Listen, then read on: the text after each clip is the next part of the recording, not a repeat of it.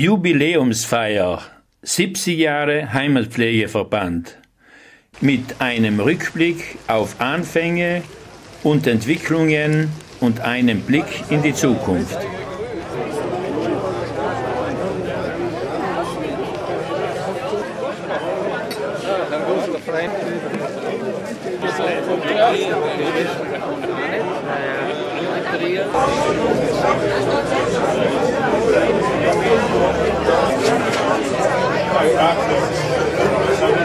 Goedemorgen.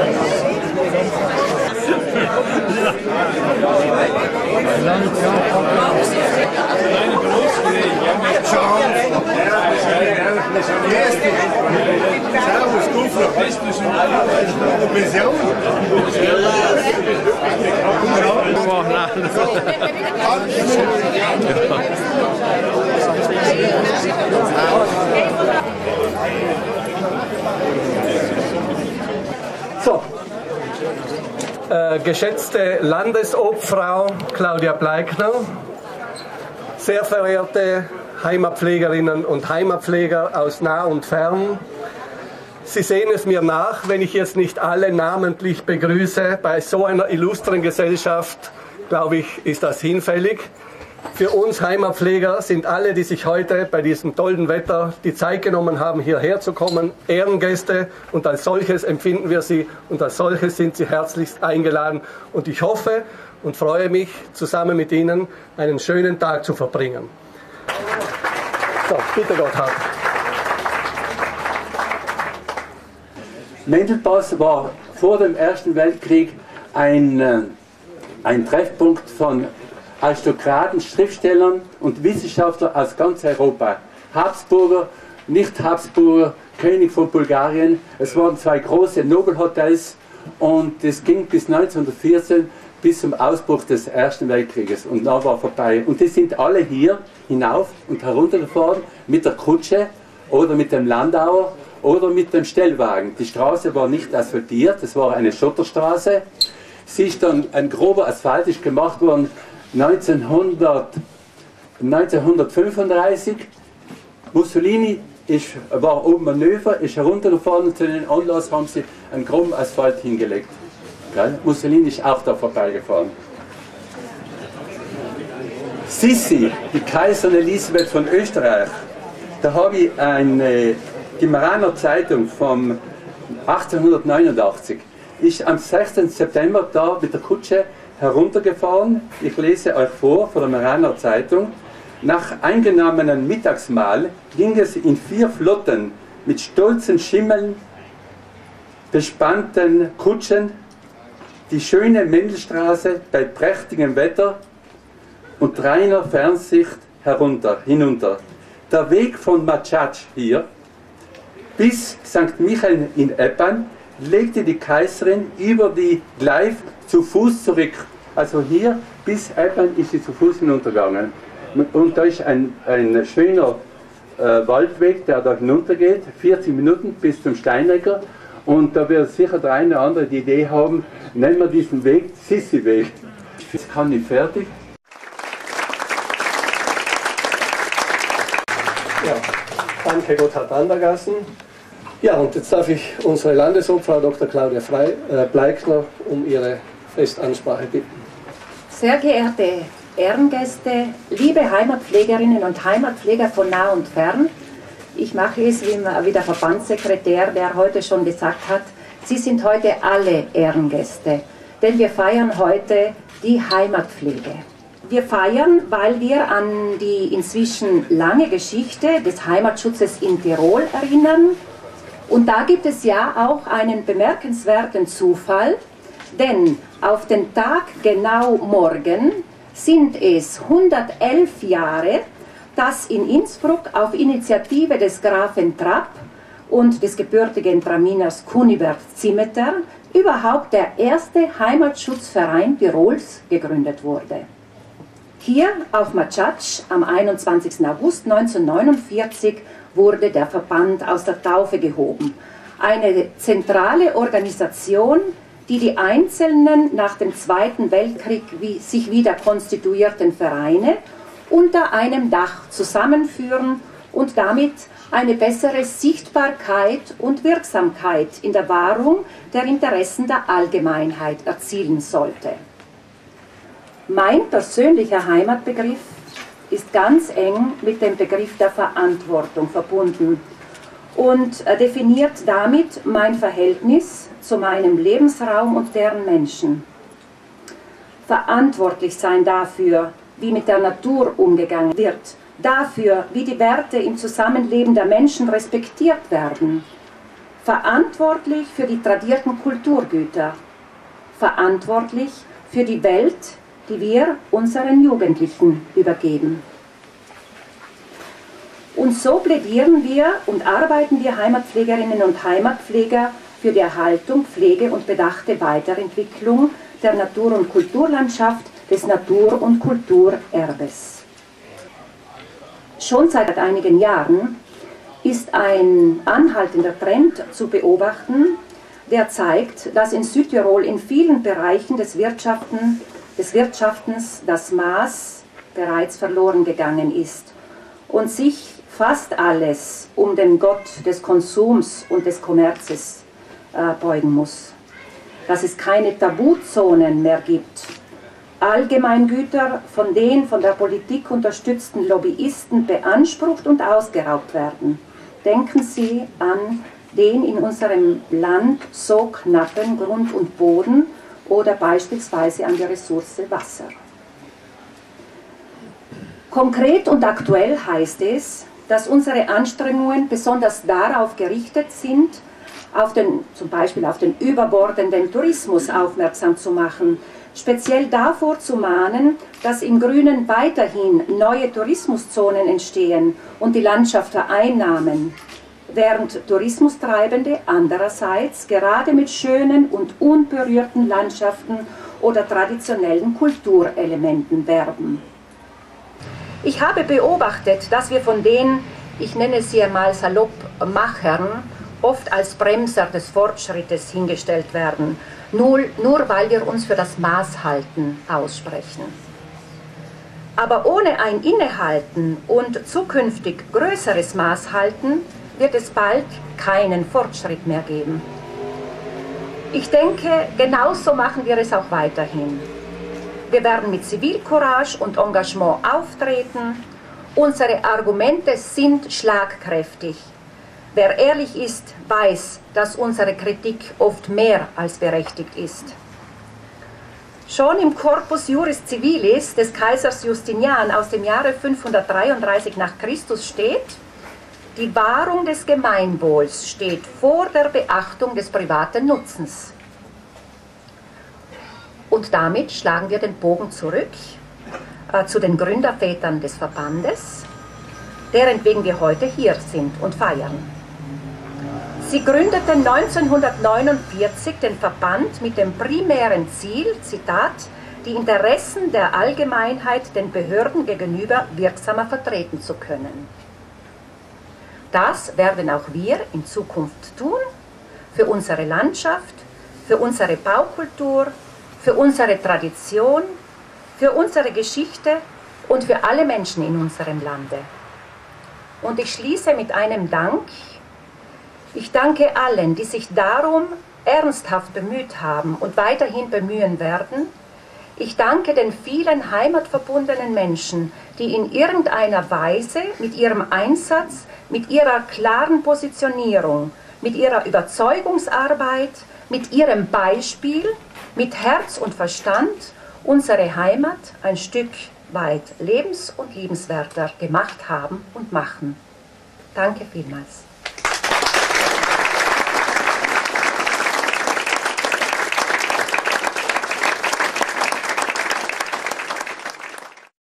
Begrüße jetzt die Frau Landesrätin. Es freut mich sehr, liebe Maria Ruckgruber-Kunzer, dass Sie, dass du heute da bist.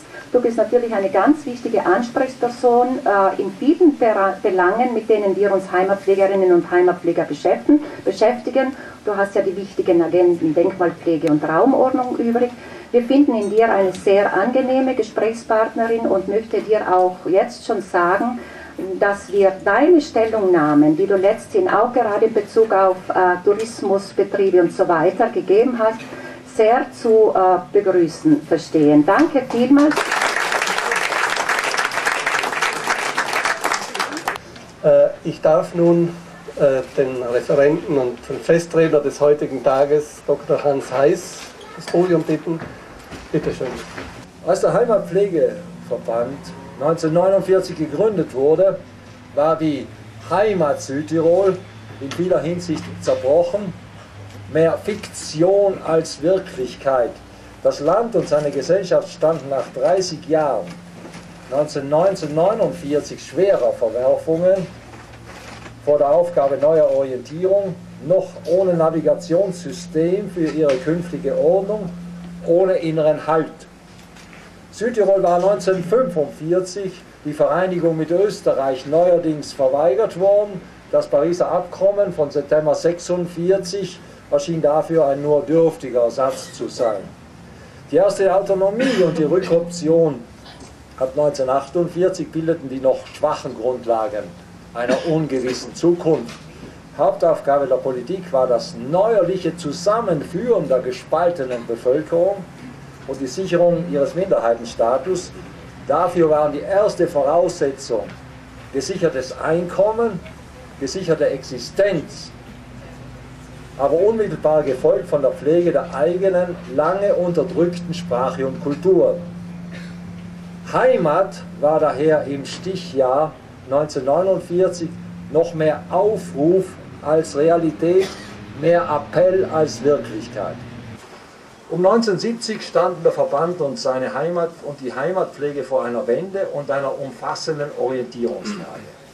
In den 20 Jahren seit Gründung hatte er zwar vieles erreicht, die Serie der Erfolge in institutioneller Hinsicht, in den gesetzlichen Rahmenbedingungen und der Fülle der Einzelaktionen war beeindruckend, keine Frage.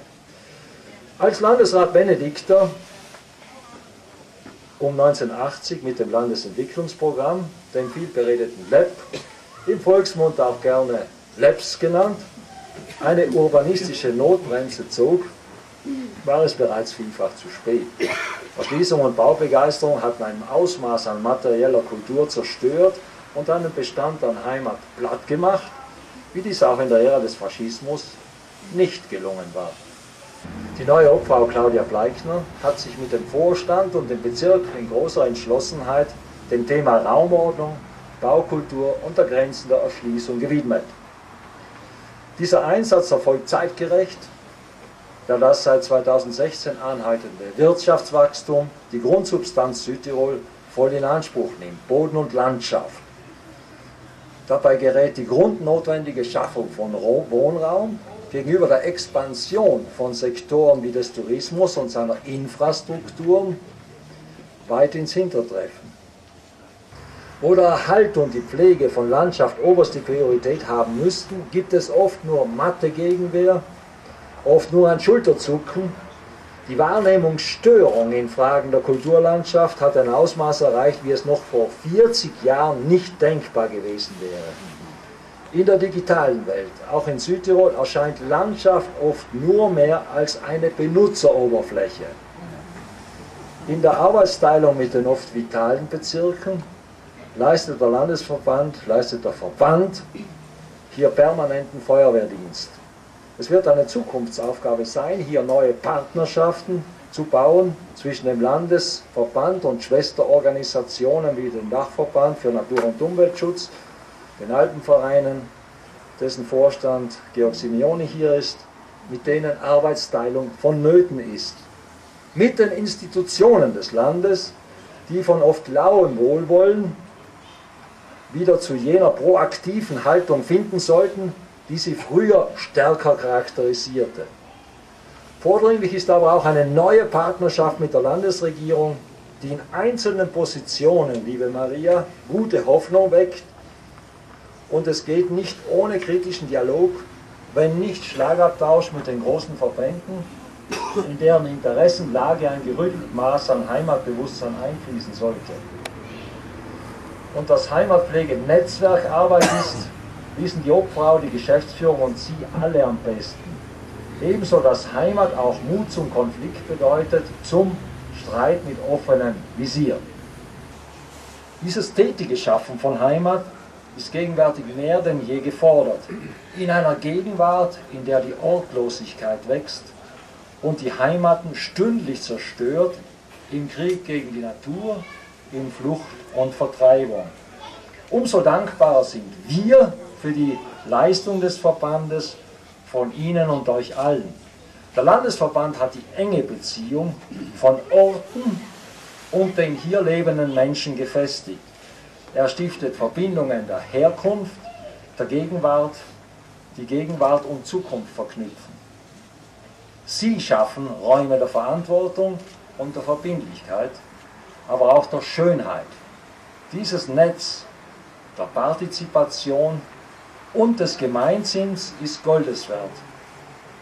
Er trägt wesentlich dazu bei, Südtirol lebensfähig und lebenswert zu erhalten, nicht nicht als den begehrlichsten Lebensraum Europas, sondern als Heimat für die hier Lebenden und für die nach uns Kommenden.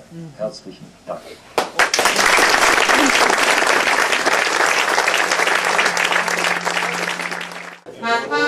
Die Welt so groß,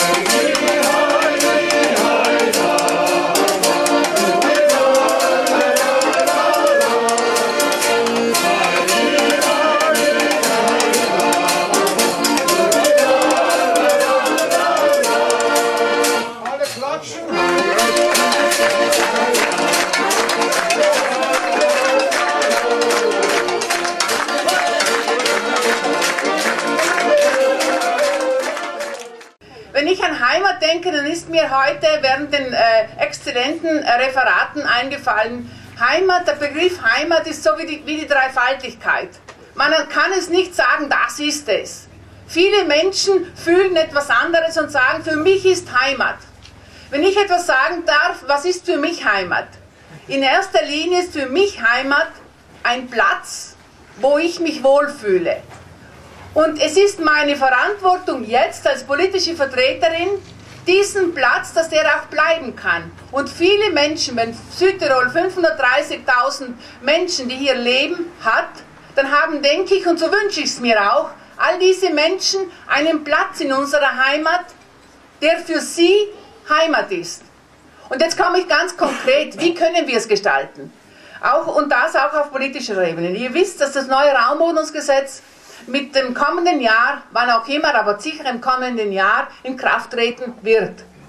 Im Raumordnungsgesetz ist vorgeschrieben, dass jede Gemeinde, die ihre Siedlungsgrenze zieht, das heißt, wo entwickeln wir uns in welche Richtung, muss auch nicht nur freiwillig bis jetzt, sondern muss auch, wenn sie diese Siedlungsgrenze genehmigen will, einen Ensembleschutzplan vorlegen. Da liegt wieder die Chance einer guten Zusammenarbeit. Da brauchen wir 116 Gemeinden in unserem Land, Menschen, die sich dafür einsetzen, dass dieser Ensembleschutzplan nicht ein Alibi-Plan wird. Es ist legitim, das sage ich auch ganz offen, von Einzelnen, die sagen, ich möchte mehr davon haben, aber es ist unsere Verantwortung zu sagen, wir müssen auf das Gemeinwohl schauen und auf das Ganze. In diesem Sinne, werte Vorsitzende Claudia Bleikner, wünsche ich mir auch in Zukunft eine gute Zusammenarbeit, sei es in der Denkmalpflege, sei es im ganzen Bereich Raumordnung und Landschaftsschutz.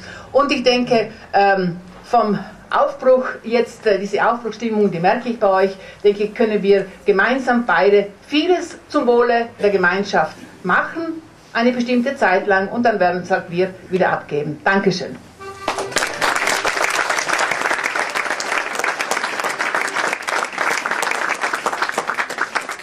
Danke, Frau Landesrätin. Ja, jetzt sind wir soweit. Äh, ich darf Sie herzlich einladen, sich drüben bei Blend, Wurst und Käse zu bedienen. Äh, während äh, Sie Mittagessen wird Toni Höller uns ein bisschen musikalisch auch unterhalten. Und auch während dem Mittagessen äh, darf ich die Mundartdichterinnen und Mundartdichter im Heimatpflegeverband, die sich zahlreich gemeldet haben und gesagt haben, sie würden gerne und sie haben zum Anlass, zum heutigen Anlass ein Gedicht geschrieben. Äh, so bitte ich Sie nach und nach während dem Essen äh, ans Pult zu kommen und Ihr Gedicht vorzutragen, sich selber bitte vorzustellen, äh, damit ich nicht jetzt alle einzeln vorstellen muss. Und das machen wir jetzt so ganz gemütlich, während wir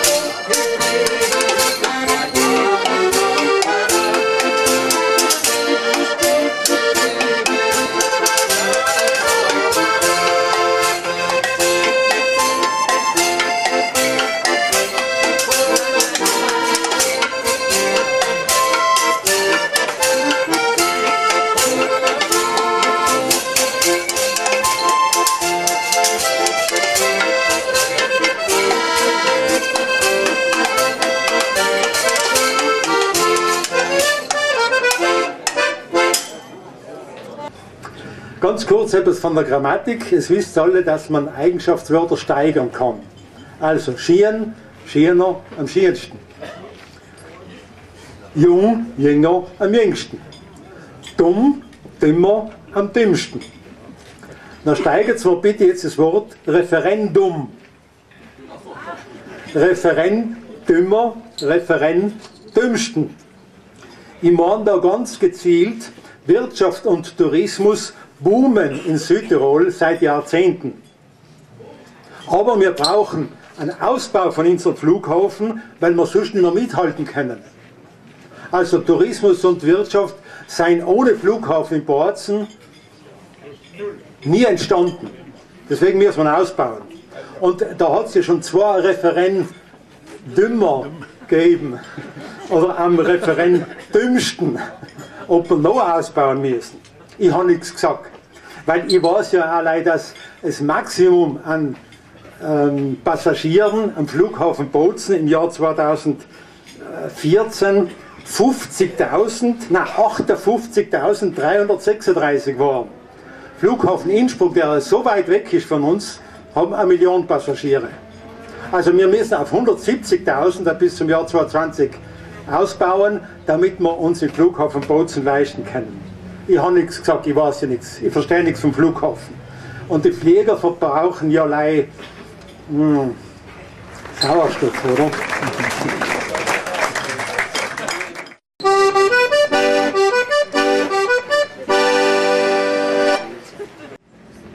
Durch viele kleine und größere Initiativen hat Dr. Peter von Hellberg stets an der Verwirklichung der Ziele der Heimatpflege gearbeitet hat aber auch wichtige institutionelle heimatpflegerische Schritte unternommen. Und so 1983 den Verein für Heimatpflege Eppan neu gegründet und seither die Obmannschaft innegehabt. Nicht unerwähnt bleiben darf aber auch sein Mitwirken im Verbandsvorstand. Von 1984 bis 1995 war Peter von Hellberg Mitglied des Landesvorstandes und von 1996 bis 1998 dessen Rechnungsprüfer. Unter Berücksichtigung all dieser Tätigkeiten für die Heimatpflege und als Anerkennung für seine vielfältigen Leistungen habe ich jetzt die Ehre, Dr. Peter von Hellberg das goldene Verbandsehrenzeichen des Heimatpflegeverbandes Südtirol zu überreichen und ihm dadurch unseren aufrichtigen Dank auszudrücken.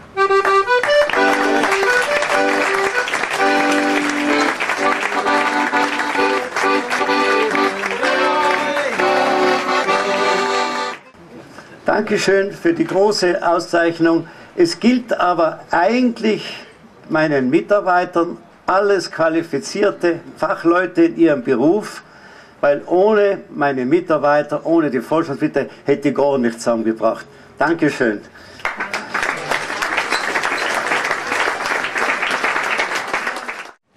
Gott sei Dank gibt es bei uns in Südtirol Leute, die sich kümmern um das Landwohl, denen die Heimat und ihre Pflege wichtig ist, wie das eigene Gehege. Darum tun wir aufbewahren und weitergeben, was wichtig ist im Heimatleben. In den nächsten 70 Jahren probieren, den Faden zu verlieren. Dankeschön. Ich bin von Pfalzen, knapp Hans. Pfalzen war ja früher äh, ein verlorenes Dorf, ein unbekanntes Dorf. Aber seitdem der Fulgenwalder Landeshauptmann geworden ist, wissen alle, wo Pfalzen ist. Und vor allem in der letzten Zeit, wenn man so die Zeitungen gelesen hat, haben wir ganz einen bekannten Pfalzner, das ist der Dr. Dr. Saat. Was ist, wo ist Heimat? Und was ist Heimat? Und was ist ihr Wert? Für den einen ist es ein Ort, für den anderen ein starkes Gefühl und alle haben Recht, weil man etwas Besonderes sein will. Ich glaube, wenn man das Äußere sein lässt und in sich selber einschaut, da kann ich sehen, wie es in meinem Herzen und in meiner Seele ausschaut. Da finde ich die richtige Heimat und mein Zuhause zu jeder Zeit. Ich muss bei mir selber sein, in Dankbarkeit und Zufriedenheit. Nur ist es nicht mehr wichtig, was ich als bin und was ich als hab. Und ich soll überlegen, was ich mitnehmen kann in meine Heimat und in mein Grab.